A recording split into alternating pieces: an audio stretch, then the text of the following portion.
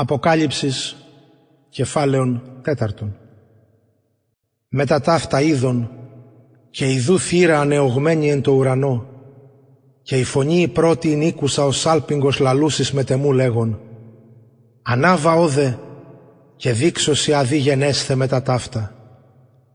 και ευθέως εγενόμην πνεύματι και ιδού θρόνος έκητο εν το ουρανό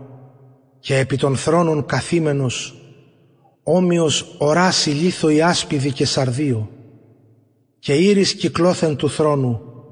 ομοίως όρασης μαραγδίνων και κυκλώθεν του θρόνου θρόνοι είκοσι τέσσαρες και επί τους θρόνους τους είκοσι τέσσαρας πρεσβυτέρους καθημένους περιβεβλημένους ενηματίης λευκής και επί τας σκεφαλάς αυτών στεφάνους χρυσούς και εκ του θρόνου εκπορεύονται αστραπέ και φωνέ και βροντέ και επτά λαμπάδες πυρός και όμενε ενώπιον του θρόνου. Εσύ τα επτά πνεύματα του Θεού. Και ενώπιον του θρόνου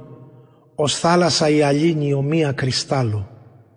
Και εν μέσω του θρόνου και κύκλο του θρόνου τέσσερα ζώα γέμοντα οφθαλμών έμπροσθεν και όπισθεν και το ζώον το πρώτον όμοιον λέοντι και το δεύτερον ζώον όμοιον μόσχο. Και το τρίτον ζώον έχουν το πρόσωπον ως ανθρώπου και το τέταρτον ζώον όμοιον αετό πετωμένο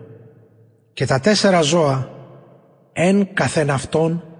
έχουν αναπτέρυγα σεξ κυκλώθεν και έσωθεν γέμουσιν οφθαλμών και ανάπαυσιν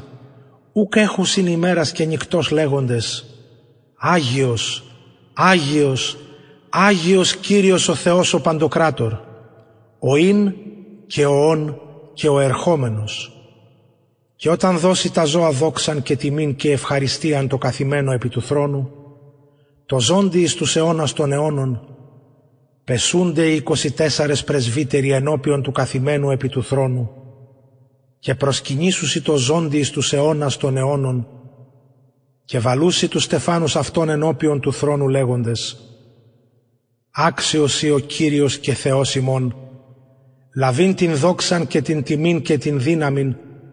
ότι σύ έκτισας τα πάντα και δια το θέλημά σου ήσαν και εκτίστησαν.